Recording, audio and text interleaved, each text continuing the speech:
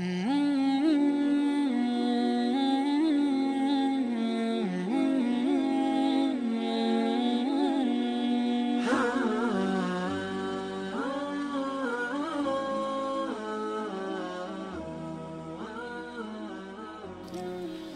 بالله السميع العليم من الشيطان الرجيم. بسم الله الرحمن الرحيم. الحمد لله رب العالمين. الحمد لله الذي هدانا لهذا وما كنا لنهتدي لولا أن هدانا الله. الحمد لله على نعمة الإيمان والإسلام. الحمد لله على نعمة العلم وطلب العلم. اللهم زكي نفوسنا بالعلم وبطلب العلم. اللهم ارزقنا نور العلم. اللهم ارزقنا نور كلام النبي صلى الله عليه وسلم. إن لكلام الله تعالى وكلام النبي صلى الله عليه وسلم لنور خاص لا يتحصل عليه إلا الطالب الصادق المتأدب بين يدي ربه جل جلاله. لذلك وجه القلوب وأحضر القلوب قبل حضور الأبدان في كل مجلس نتذكر المقاصد والآداب التي ينبغي لطالب العلم أن يجلس فيها فنحن أيها الحبة في الله أيتها الأخوات الكريمات نقرأ حديث النبي صلى الله عليه وسلم وفي كلامه وأفعاله وسننه صلى الله عليه وسلم أنوار لا يعلمها إلا الله. فلا تحرم نفسك من هذه الأنوار واسأل من الله جل جلاله أن يرزقك حقيقتها وأن يبلغك مرادها. وأن يرزقك تطبيقها وتبليغها بعد هذا المجلس إنه ولي ذلك والقادر عليه. ما زلنا في المقصد الثالث العبادات كتاب الطهارة الوضوء. الحديث الثاني عشر باب السواك. بسم الله الرحمن الرحيم. بسم الله الرحمن الرحيم. الحمد لله رب العالمين والصلاة والسلام على سيدنا محمد وعلى آله وصحبه أجمعين. يقول مصنف رحمه الله ونفعنا الله بعلمه وعلمكم في الدارين. باب السواك عن أبي هريرة رضي الله عنه أن رسول الله صلى الله عليه وسلم قال لولا أن أشق على أمتي أو على الناس لأمرتهم بالسواك مع كل صلاة. أوامر النبي صلى الله عليه وسلم تغمرها وتحفها الرحمة. لذلك في كثير من الأحيان أفعال النبي صلى الله عليه وسلم كانت من باب الرحمة على الأمة حتى لا تفرض عليهم أعمال. ومنها على سبيل المثال تركه اجتماع الناس لصلاة تراويح. تركه اجتماع الناس لصلاة التراويح. لما ذلك يا رسول الله؟ قال خوفه أن تفرض صلاة التراويح على الأمة. وغير ذلك من الأمور التي كان يتوقف عنها صلى الله عليه وسلم يسكت عنها صلى الله عليه وسلم خوفا من أن تفرض على الأمة. ومن ذلك الأمر بالسواك. يعني لولا أن النبي صلى الله عليه وسلم يخاف أن يفرض السواك على الأمة لأمر الصحابة بالسواك عند كل صلاة. يعني ما يحبه يعني إحنا لازم نفهم الحديث أن السواك عند كل صلاة مأمور به. ومراد السواك ومقصد السواك شو هو؟ نظافة والطهارة وعدم وجود الرائحة المؤذية. لذلك يحل مكان السواك فرشاة الأسنان تنظيف الأسنان أو تعطير البدن وقس على ذلك. لكن أعلى مراتب السنة أن تطبق السنة بكاملها وهي السواك والمراد به استخدام الأعواد التي تؤخذ من شجر الأراك.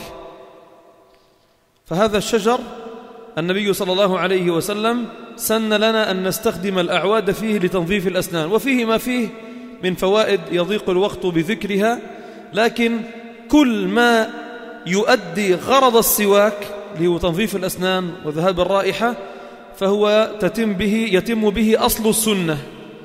لذلك يعني يفهم من الحديث أن آه، وجود الرائحة في الفم للمصلي شو حكمه جائز ولا مكروه منهي عنها. ليش؟ لأن الملائكة تتأذى مما يتأذى منه بنو آدم. ولأن الملائكة كما ورد في بعض الروايات تتلقى القرآن من, من أفواه المؤمنين. تتلقى القرآن من أفواه المؤمنين. فما بالك هذا الفم الذي يعني لم ينظف؟ لذلك النبي صلى الله عليه وسلم لأهمية تنظيف الفم والأسنان قال لولا خوفي على الأمة من أن تفرض عليهم سنة السواك لطلبت منهم أن يتسوكوا عند كل صلاة. وسنة السواك كما نعلم يحبة في الله في الصلاة أو عند الصلاة من, من, من, من أعظمها من أعظم الأماكن التي تستخدم فيها السواك هي الصلاة. ولكنها عند كل لقاء وعند كل اجتماع وعند وبعد كل طعام وقبل كل منام وبعد كل استيقاظ وعند دخول بيت وعند لقيا حبيب وغير ذلك. من الأماكن التي سن النبي صلى الله عليه وسلم لنا فيها السواك وهي كلها تدور حول تلك اللباقة والأناقة والنظافة التي أمر بها وجاء بها شرعنا الحنيف. نعم. باب المسح على العمامة والخفين. عن عمرو بن أمية الضمري رضي الله عنه أنه رأى النبي صلى الله عليه وسلم يمسح على الخفين وقال رأيت النبي صلى الله عليه وسلم يمسح على عمامته. العمامة من السنن التي كان يقوم بها النبي صلى الله عليه وسلم. وهي من سنن العادات التي إذا نوى المرء التشبه فيها بالنبي صلى الله عليه وسلم فله الأجر. وهي متروكة عند كثير من الناس اليوم. والعمامة التي كان يلبسها النبي صلى الله عليه وسلم لها هيئة معينة. وعمامة النبي صلى الله عليه وسلم كما روي عنه في أكثر من حديث ورواية أنه كان يعتجرها اعتجارا. والاعتجار هي ما يلف على الرأس. هذا اسمه الاعتجار. وكان من صفة عمامة النبي صلى الله عليه وسلم أنه كان لها ذؤابتان. والذؤابة هي الذيل الذي يكون بين الكتفين. فكان لعمامة النبي صلى الله عليه وسلم ذؤابتان. وكان النبي صلى الله عليه وسلم يلف بها حنكه ويقنع بها وجهه أحيانا في السفر. لأنه في سفر الصحراء فالرمال والغبار أحيانا تضايق الإنسان. فكان النبي صلى الله عليه وسلم يأخذ الذؤاب ويفتحها ويقنع بها وجهه فلا يبقى إلا عينيه. وكانت عمامة العرب فيما سبق كانت تغطي أغلب الرأس أو جميع الرأس وكان لفها اعتجارا شديد فكان نزعها فيه حرج. يعني مش مثل الغطرة مثلا. الغطرة بتعمل هيك بتبعد تمسح رأسك وخلص الموضوع القلون سواء عمنا الطاقية ولبس الطاقية خلصت. أما لف العمامة كان يحتاج لوقت ويحتاج لجهد وفكها وربطها من جديد يحتاج يعني فيه مشقة. لذلك من الرخص التي جاء بها شرعنا الحنيف هي رخصة المسح على العمامة. وقال جمهور الفقهاء من السادة الأحناف والملكية والشافعية ومذهبنا الشافعية يقول بذلك أن المسح على العمامة يكون بشرط أن يكون في فكها أن يكون في فكها مشقة. وتعب. أما لو كان نزعها سهل أو أن تكون كذلك مغطية لجميع الرأس وأغلب الرأس. أما لو كان قسم من الرأس ظاهر ونزعها سهل ليس فيه مشقة فلا يصح المسح على العمامة. فإذا هي رخصة بشرط وجود المشقة. مع عدم وجود المشقة لا تستطيع أن تمسح على العمامة. الذين قالوا بجواز المسح عليها ولو بغير مشقة وجود مشقة هم فقط السادة الحنابلة على قول عندهم في المذهب. فإذا العمامة هي التي تعتجر وتلف بالرأس. يجوز المسح عليها إذا لبست على وضوء مثل الخفين حكمها كحكم الخفين ويمسح عليها ولو لم يمسح على شيء من الرأس. طيب إذا مسحت على شيء من الرأس يجوز لك أن تكمل المسح على سائر العمامة لأنه عند السادة الشافعية البعض من الرأس يكفي صحيح؟ وامسحوا برؤوسكم قالوا أن الباء للتبعيض فبعض الرأس يكفي بالمسح فإذا مسحت البعض ثم أكملت المسح على العمامة جاز لك ذلك لكنك آه، قمت بالواجب بالفرض وهو مسح البعض تمام فجمعه الشيخ بين يعني مع الخفين لاتحاد شرط لبسهما على طهارة. يقول عمرو رضي الله عنه أنه رأى النبي صلى الله عليه وسلم يمسح آه، على الخفين وقال جاب الحديث دغري بعده وقال رأيت النبي صلى الله عليه وسلم يمسح على عمامته. استدل الجمهور بهذه الرواية وقالوا أن المسح على العمامة هنا أن النبي صلى الله عليه وسلم كان قد لبسها على طهارة وكانت يعني قد غطت كل رأسه وكان في فكها مشقة. نعم بسم الله. باب هل يتوضأ من مس الذكر؟ عن أبي أيوب رضي الله عنه أنه قال سمعت رسول الله صلى الله عليه وسلم يقول من مس فرجه فليتوضأ نواقض الوضوء كما تذكرون ذكرناها فيما سبق عديدة. من هذه النواقض مس العورة. ومس العورة كما قال الفقهاء ينقض الوضوء إذا كان بغير حائل. والحائل هو الفاصل فالثوب فاصل. فمن مس العورة بثوب أو فوق الثوب فلا ينتقض وضوءه. عند السادة الشافعية وغيرهم انتقاض الوضوء يكون بمباشرة مس العورة والشرط الثاني أن يكون ذلك بباطن الكف. وما هو باطن الكف؟ إذا وضعت الكف على الكف فكل ما اختفى اسمه باطن وكل ما ظهر اسمه ظاهر. فالباطن هو عندما تجمع الكف على الكف فما خفي منه اسمه باطن وما ظهر منه اسمه ظاهر. فإذا مسست العورة بظاهر الكف ولو بغير حائل لا ينتقض الوضوء. وإذا مسست العورة بباطن الكف بغير حائل ينتقض الوضوء. ومن العورة الفرج. والفرج يطلق على القبل وعلى الدبر. فالقبل عورة والدبر عورة ومسه بباطن الكف بغير حائل ينقض الوضوء. باب الوضوء من النوم. عن علي عن علي بن أبي طالب رضي الله عنه قال قال رسول الله صلى الله عليه وسلم وكاء السهي العينان فمن نام فليتوضأ. بين النبي صلى الله عليه وسلم في هذا الحديث سبب نقض الوضوء للنائم لأنه قد يسأل سائل لما ينتقض وضوء النائم؟ أنا إذا نمت ليش بروح وضوئي؟ فقال صلى الله عليه وسلم وكاء السهي والسهو حلقة الدبر. فحلقة الدبر إذا نامت العين سهل خروج الريح منها بغير إحساس. وإذا لم تنم العينين وبقي المرء مستيقظا فيدرك ويشعر إذا خرج منه الريح. فيقول صلى الله عليه وسلم مبينا سبب انتقاض وضوء النائم يقول عليه الصلاة والسلام وكاء السهي العينين. الوكاء لو جبنا الآن مثل جرة أو شقفة جلد كيس خبز فأنت بتربطه هاي الربطة اللي اسمها ربطة الخبز هذا اسمه الوكاء. ماشي؟ الوكاء فكأن النبي صلى الله عليه وسلم يشبه هذا أن الإنسان إذا نام انفلت الوكاء فتح الوكاء فسهل خروج الريح منه. وقلنا فيما سبق أن النائم الذي ينتقض وضوءه بالنوم هو النائم الذي ليس شو؟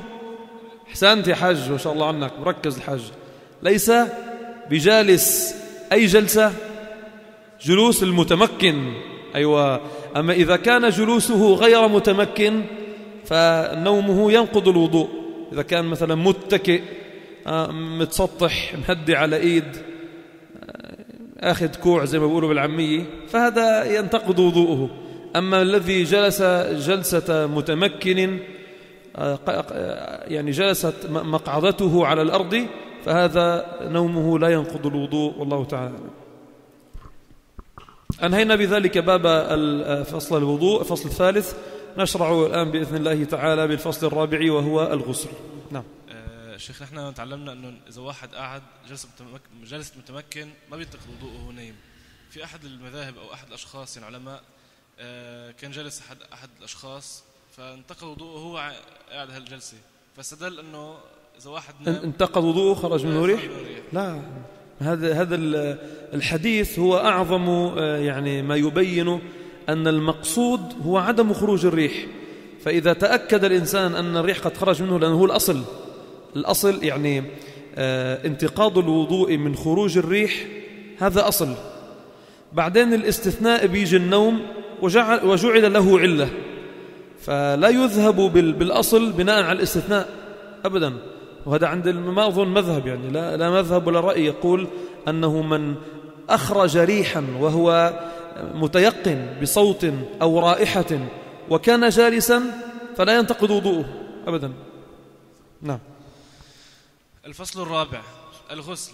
قال تعالى وإن كنتم جنبا فاطهروا. باب المسلم لا ينجس. عن طيب. أولا الغسل أيها الحبة في الله على نوعين. الغسل المسنون والغسل الفرض. والغسل المسنون كغسل الجمعة وغسل العيدين وغسل آه، صلاة الكسوف وصلاة الخسوف وغسل الدخول إلى مكة وغسل الإحرام وغسل غسل آه، غسل الميت. ليس غسل الميت غسل الميت واجب إنما غسل من غسل الميت. وغسل الدخول على النبي صلى الله عليه وسلم في المدينة المنورة وغسل عند كل اجتماع. لأن كما قلنا الأصل في المسلم أن يكون لبقا نظيفا طاهرا متعطرا. من من الجمال الذي أمر به المسلم كثرة الوضوء والغسل. أما غسل الفرض فمثل شو؟ مثل غسل الجنابة للرجال وللنساء وغسل الحيض وغسل النفاس وغسل الولادة وغسل الميت. هذا كلها من الأغسال المفروضة. قال الله تعالى وإن كنتم جنبا فاطهروا. عم نتكلم الآن عن رفع الحدث الأكبر. كيف الحدث الأكبر بيرتفع؟ بالغسل. شو هو الحدث الأكبر؟ شو مسببات الحدث الأكبر؟ ها هات لنشوف. ذكرونا. الجنابة ولا شوف شو الجنابة. ما هو الاحتلام بيعمل لك جنابة؟ والجماع بيعمل جنابة؟ وخروج الماء بيعمل جنابة؟ كله جنابة. والحيض والنفاس. تمام؟ هذا الحدث الأكبر. لا المذي ما, ما بيعمل جنابة. لأنه المذي نجس ولكن يرتفع الحدث بالوضوء. فإذا الجنابة تكون من خروج المني بأي طريقة كانت بالاحتلام أو بالجماع أو بغير ذلك.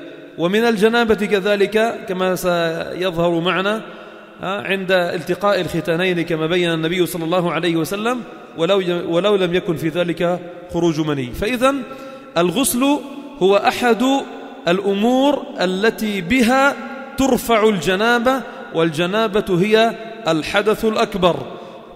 قال الله تعالى وإن كنتم جنبا فاطهروا. ما المقصود بالطهارة هنا؟ القيام بالغسل حتى يرتفع الحدث فيطهر المرء فيستطيع أن يقوم بالعبادات. نعم. باب المسلم لا ينجس. عن حذيفة رضي الله عنه أن رسول الله صلى الله عليه وسلم لقيه وهو جنب فحاد عنه مين اللي حاد عنه؟ حذيفة. يعني سيدنا حذيفة كان على جنابة. أم طلع بوجه النبي عليه الصلاة والسلام؟ أم راح بعد. ما ما وقف بوجه النبي تخبى منه. فحاد عنه. فراح اغتسل. نعم. فاغتسل ثم جاء فقال كنت جنبا. قال إن المسلم لا ينجس. أيوة. لابد أن يعني نفرق بين الأحكام الشرعية وبين إطلاقها. اليوم الحكم الشرعي يقول أن الذي أجنب لا يصح أن يصلي لا يصح أن يقرأ قرآن لا يصح أن يمس المصحف لا يصح أن يدخل المسجد. لكن هذا لا يعني أنه نجس. كما ذكرنا في الأبواب السابقة فيما يتعلق بالحائض. الآن المرأة إذا خرج منها الدم لأنها آه، حائض.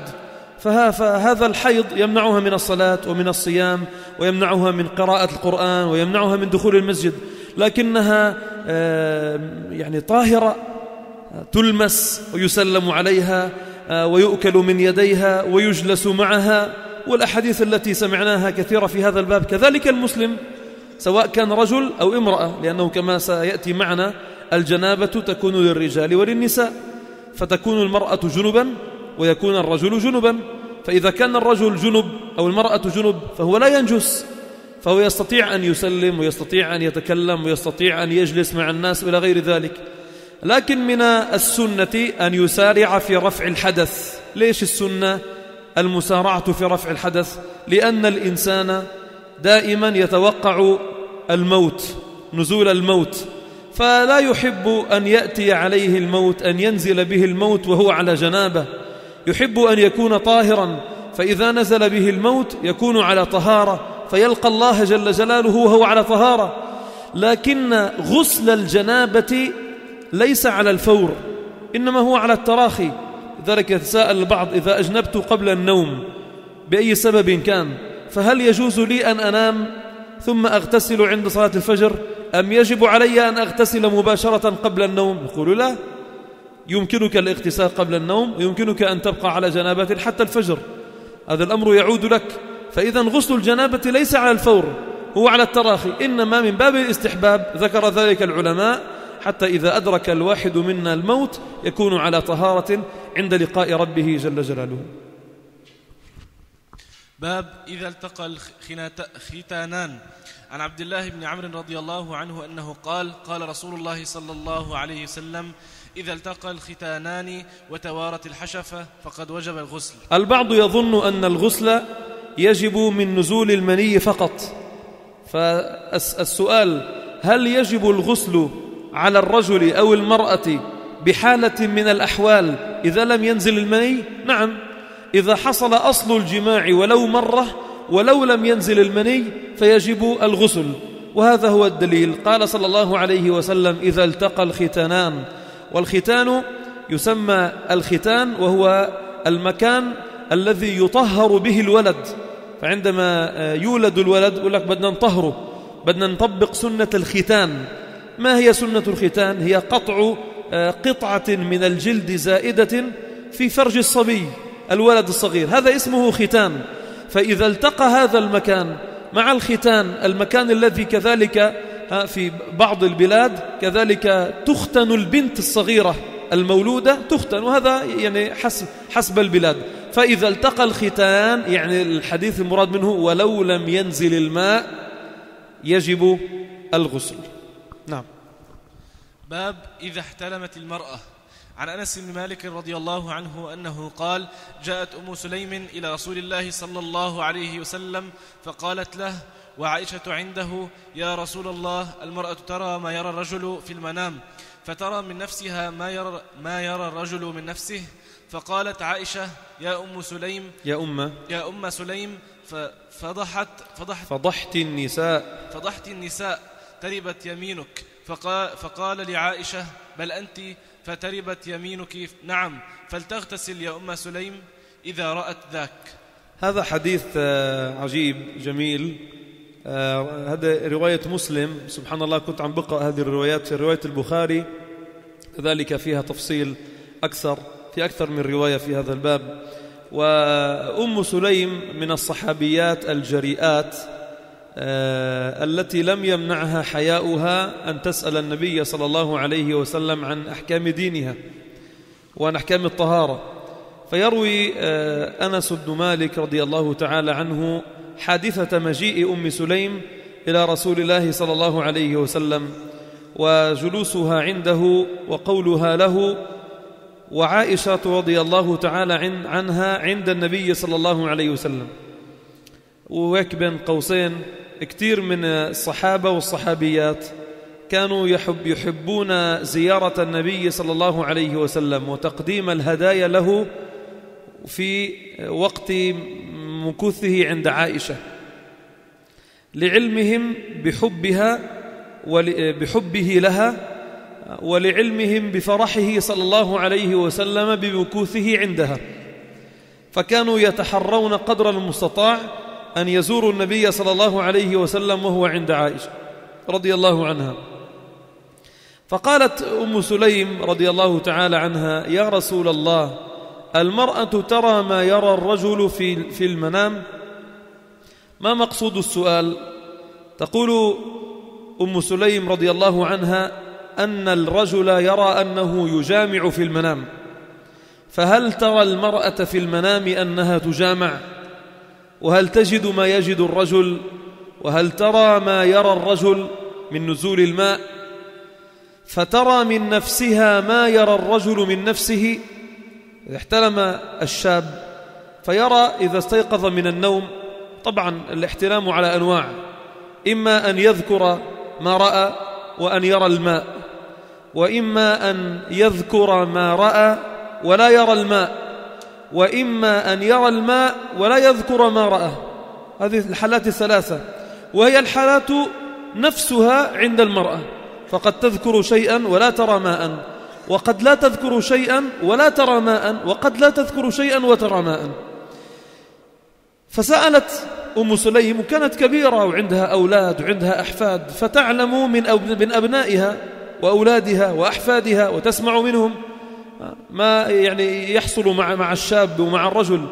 فجاءت للنبي صلى الله عليه وسلم لتسأل فقالت لها عائشة رضي الله عنها يا أم سليم فضحت النساء. شو السؤال اللي عم تسأليه النبي عليه الصلاة والسلام.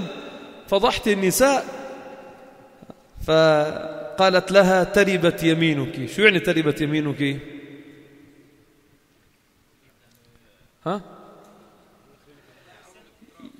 شو يعني طيب؟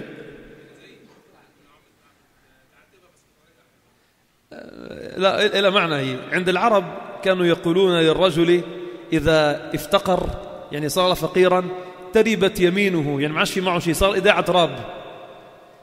يعني كيف كيف ربنا تعالى قال ها شو شو الآية أو مسكينا ذا متربة. يعني صار على التراب يعني بالعامية مجنط يعني خلاص راح راح الدولاب معه راح كل شيء صار على الجنط. آه، فلذلك كان العرب يقولون للرجل إذا افتقر تربت يمينه ما عاش معه شيء بس ما عاش معه غير تراب بمد إيده بيطلع تراب بس. فكانوا يداعبون بعضهم ويمازحون بعضهم البعض بهذا الدعاء لكنهم لا يقصدون الظاهر منه. يعني قالت عائشة لأم سليم رضي الله عنهما تربت يمينك لي ليس مقصود عائشة أن تدعو على أم سليم. إن شاء الله بتصير فقيرة يعني. لا إنما هو من باب المداعبة. ويقاس على ذلك قول النبي صلى الله عليه وسلم شو كمان؟ ها؟ ثكلتك أمك ثكلتك أمك الأم, الأم الثكلة من هي الثكلة؟ هي التي فقدت ولدها أو أعز أبنائها. فهل يريد النبي صلى الله عليه وسلم من هذا الدعاء أن يدعو عليه بالموت؟ لا إنما يريد أن يداعبه أن يمازحه, أن يمازحه.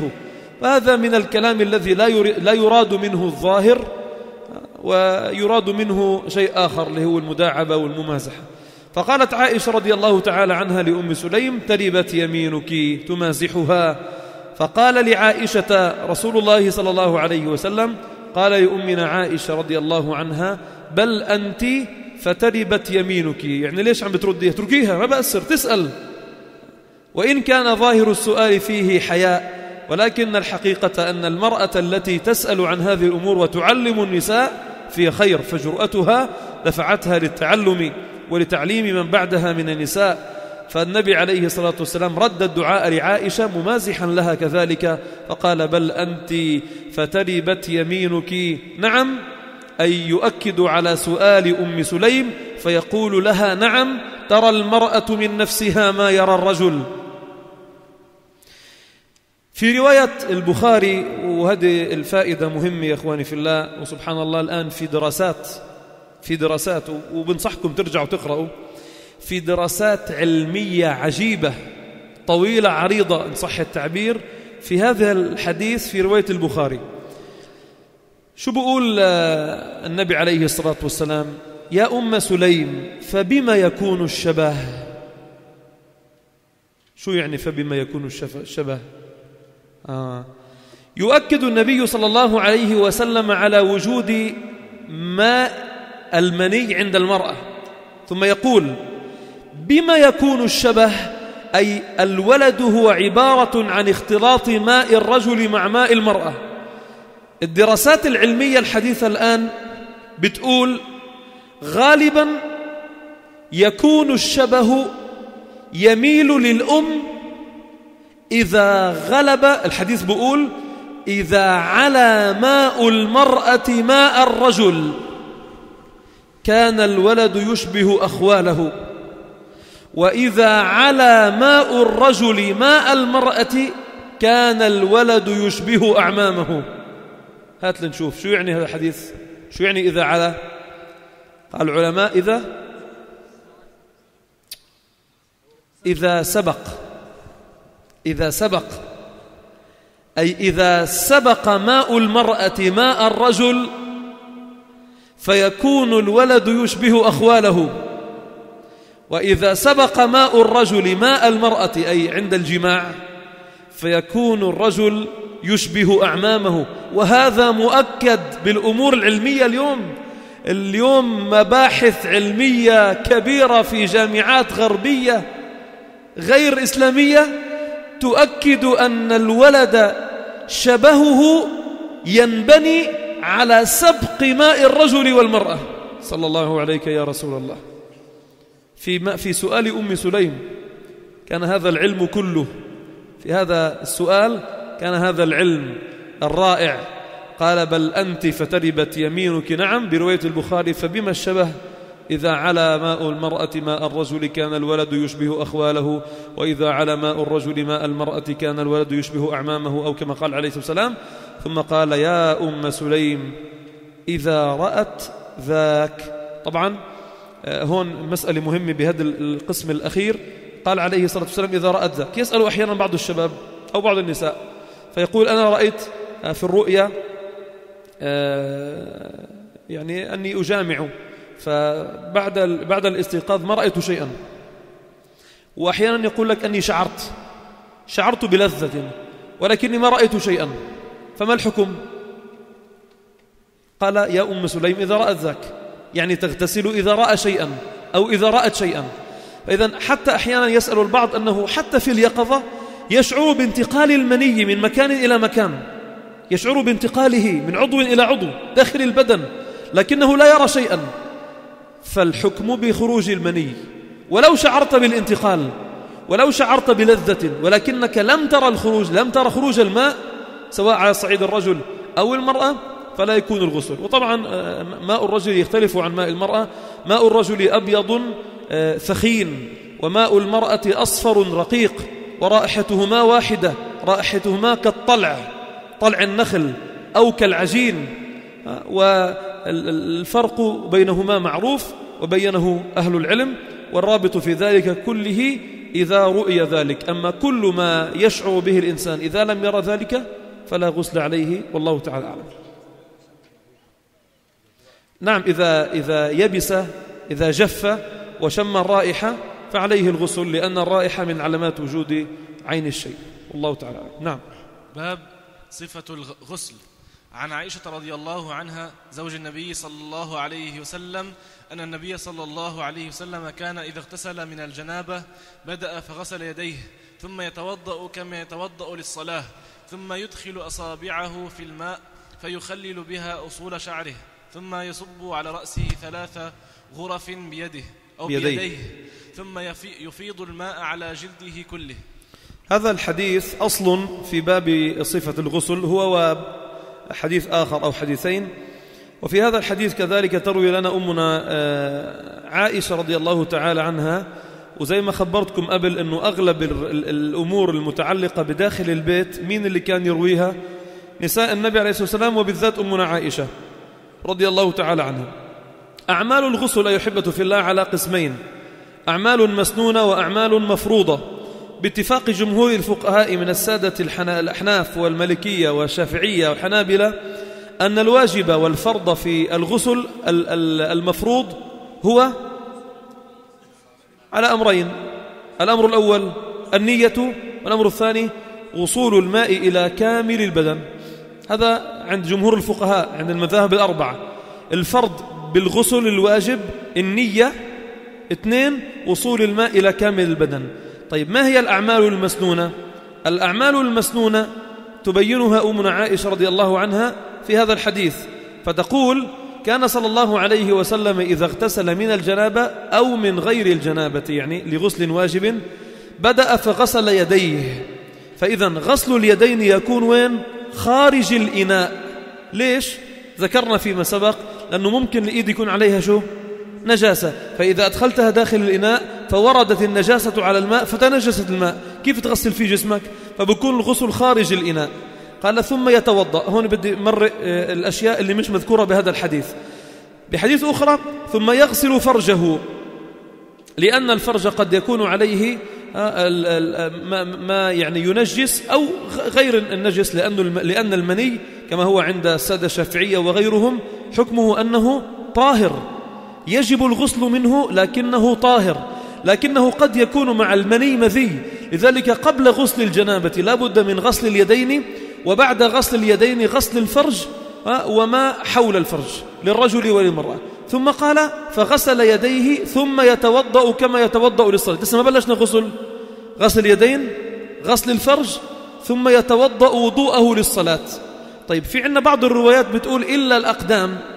طيب الأقدام ما غسلها أو يغسلها؟ متى يغسل؟ قال العلماء على حسب المكان الذي يقف فيه. إذا كان يقف في مكان الماء فيه تغمر القدمين والماء متسخ فإذا غسل الأقدام حيرجعون على الأرض هي ذاتها. فيبقي الأقدام لآخر الغسل. أما إذا كانت الأرض جافة أو لا تغمرها المياه فيغسل قدميه. إذا يغسل يديه ثم يغسل فرجه ثم يتوضأ وضوءه للصلاة وضوءا كاملا. ثم قالت يدخل أصابعه في الماء فيخلل بها أصول شعره. فبيبدأ بأصول الشعر. ويجب على من يغتسل غسل الجنابة أن يوصل الماء إلى أصول الشعر. فإذا كان شعرك طويل وشادد الشعر أو مجدل الشعر أو رابط الشعر ولا يصل الشعر إلى الأصول مثل حاطة الجل ملبد تلبيد فلا يصل الماء إلى الأصول فهذا الغسل لا يصح لأن أصل الشعرة لم يصله الماء. وهكذا نقول لمين للنساء التي تتخذ الضفائر. الضفائر شو هي؟ مش الضفير باللغة العربية الضفيرة هي الجدولة يعني. إذا جدلت المرأة شعرها هذا اسمه ضفيرة. فالضفائر على نوعين إما ضفيرة غير مشدودة إذا وضعت المرأة الماء يصل الماء إلى أصول الشعر وإما ضفيرة مشدودة فلا يصل الماء إلى الأصول فعندها يجب أن تفكها ولو قليلا حتى يصل الماء إلى أصل الشعر. فإذا وصول الماء إلى أصول الشعر أصول الرأس هذا من الواجبات في غسل الجنابة وإلا لما صح الغسل. فإذا رقم واحد شو؟ غسل اليدين. اثنين غسل الفرج. ثلاثة الوضوء. أربعة إيصال الماء إلى أصول الشعر. بعدين قال ثم يصب على رأسه ثلاث غرف بيديه ثم يفيض الماء على جلده كله. كيف التفصيل كذلك بباب آه، السنن؟ قال أن يبدأ بشقه الأيمن فيفيض الماء على شقه الأيمن ثم يبدأ بشقه الأيسر ثم يختم بشقه الأيسر ويبدأ غسله بالتسمية كما يبدأ وضوءه بالتسمية. مين بيعد لهن على السريع أول شيء؟ تسمية. اثنين. غسل اليدين. غسل الفرج. الوضوء. غسل الشعر. غسل الشق الأيمن. غسل الشق الأيسر. من طبق هذه السنن فقد أتم غسل الجنابة بالسنة. والفرض فيه كيف؟ النية وتعميم الماء على كامل البدن. بسم الله. يلا إحنا حدثين وما ياخذ أسئلة إن شاء الله. اللي بده سؤال يتذكره بس. نعم. باب الغسل كل سبعة أيام. عن أبي, عن أبي هريرة رضي الله عنه أن النبي صلى الله عليه وسلم قال حق على كل مسلم أن يغتسل في كل سبعة أيام يوما يغسل فيه رأسه وجسده, وجسده, وجسده. هل هذا الحديث يدل على أن المسلم لا يغتسل إلا كل سبعة أيام؟ طب شو المقصود تحديده بالسبعة؟ يعني الغالب الغالب على الناس أنها إذا لم تغتسل لسبعة أيام وكانت لا تتحرك أصلا ولا تعرق أنها يبدأ خروج الرائحة النتنة منها الكريهة منها. لكن هذا لا يعني أن المرأة إذا خرجت منه الرائحة لا يغتسل بل يجب على المسلم أن يغتسل غسلا واجبا إذا كانت رائحته تؤذي لأن أذية المسلم حرام وإذهاب ال ال الأذية واجبة. فإذا كان الغسل هو سبب إذهاب الأذية من رائحة تؤذي الغير فصار الغسل واجبا. وقد يجب الغسل في اليوم الواحد سبع مرات. على أقصى تقدير. يعني ليس المقصود كل سبعة أيام بس على المقصود الرائحة. من الناس من يعلم من نفسه أنه زلم يعري زلم طلعت منه رائحة يعني سلامتك. فلذلك هذا يجب عليه ويمكن الصباح والظهر والمساء وقس على ذلك. هذا ليس عيبا. هذا خلق الله هذا خلقه. هكذا خلقه الله. هذا ليس عيبا بالإنسان. لكن عيب العيوب. أعظم عيب أن يعلم المرء من نفسه رائحة كريهة ويأتي للمسجد ويأتي ليصلي. يعني سبحان الله بعدي لا أذكر بحكي له للشباب من يومين بعدني أذكر بالحج هذه السنة. كنت آخر يوم بالمسجد النبوي وآخر صلاة. شو رايح أنا وعايش هيك الجو؟ ويا الله وآخر صلاة بدي أصلي عند النبي عليه الصلاة والسلام ومبسوط وبدي هيك يعني بدي أصلي صلاة مروحني. قام صلى بجانبي واحد من إحدى الجنسيات بدون ما أسمي مين هي؟ ويا وعينك على أول المصاري ما تشوف إلا النور يا شيخ. وكان مبتلى هذا بعادة هو واقف يعمل هيك. كمان. ناقص كمان. صدقا يا إخوان أفتيت لنفسي يعني إني أتقدم بالصف. وما بدي أتحمل. فتقدمت هيك صرت بين الصف الأول والثاني. بس حتى حتى أحس إني ودعت المسجد النبوي. مزبوط. بعدين بفضل الله جلست معه كلمته. طبعا حتى ما إجرح قلت له أنا متأكد أنت مش حاسس أنت مش عارف أنت مش شامم أنت ما لك مكورن ورايحة معك حاسه الشم أنت بس يا أخي الله يرضى عليك يعني ما بصح. والله العظيم وصدقا دخت دخت دخت في الصلاة يعني مقطر تقطير صنص يعني. فكيف هيك؟ فطبعا تقبل جزا الله خير وشكرني على النصيحة. قلت له بعد ما رات علي الصلاة. فالعبرة يا إخواني في الله أنه الإنسان الله يكرمكم. دائما نردد الأمر لأني يعني لا أحب الشاب المسلم إلا أن يكون في أجمل هيبة وهيئة وطلة بهية. في خاصة عند دخوله للمسجد حتى في حياته وأنا بديش أنا فيش معنا وقت نفصل كثير والأضرب من ذلك ما تسمعه من مصائب في البيوت.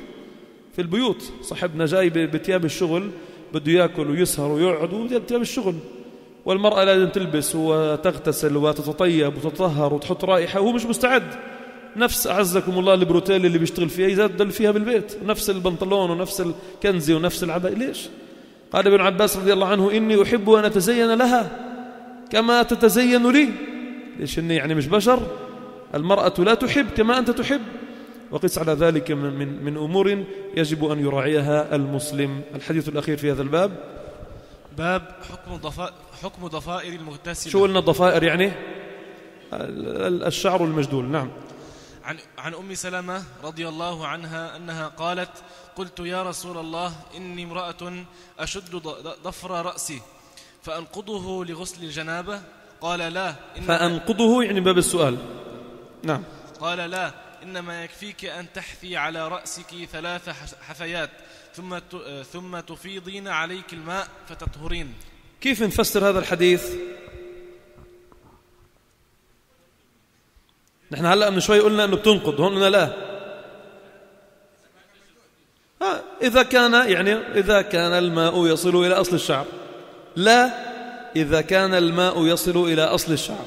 أما إذا كان الماء لا يصل إلى أصل الشعر فيجب نقض الشعر. والله تعالى أعلم. نبدأ الأسبوع القادم في الفصل الأخير من باب العبادات وهو التيمم. لنبدأ بعده إن شاء الله بالكتاب الثاني وهو الأذان. ومواقيت الصلاة وصلي اللهم على سيدنا محمد وعلى آله وصحبه وسلم والحمد لله رب العالمين.